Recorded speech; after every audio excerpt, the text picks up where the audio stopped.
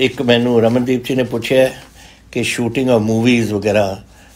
Cinema ਬਣਾਉਣਾ ਵਗੈਰਾ, ਬੜੇ ਲੋਕ ਪੰਜਾਬ ਦੇ ਵਿੱਚ ਇੱਥੇ ਆਏ ਹੋਏ ਨੇ ਕਰਾਉਣ ਵਾਸਤੇ, ਉਹ ਇਜਾਜ਼ਤ ਹੈ ਸਾਨੂੰ ਜਾਂ ਨਹੀਂ? ਜ਼ਰੂਰ ਜ਼ਰੂਰ ਇਜਾਜ਼ਤ ਹੈ ਤੁਹਾਨੂੰ, ਅਸੀਂ ਡਿਪਟੀ ਕਮਿਸ਼ਨਰ ਨੂੰ ਇਨਫੋਰਮ ਕਰੇ ਤੁਸੀਂ ਪਿਕਚਰਾਂ ਕਿਚ ਆਪਣੀ ਮੂਵੀਜ਼ ਬਣਾਉਣੀਆਂ ਸ਼ੌਕ ਨਾਲ ਬਣਾਓ ਔਰ, ਸਫਲ ਹੋ ਇਹਦੇ ਇਹਦੇ ਵਿੱਚ। ਤੇ ਜ਼ਰੂਰ ਅਸੀਂ ਡਿਪਟੀ ਕਮਿਸ਼ਨਰ ਨੂੰ ਇਹ ਗੱਲ ਮੈਂ ਤੁਹਾਨੂੰ ਦੱਸ ਦਿੰਦਾ ਇੱਕ ਨੇ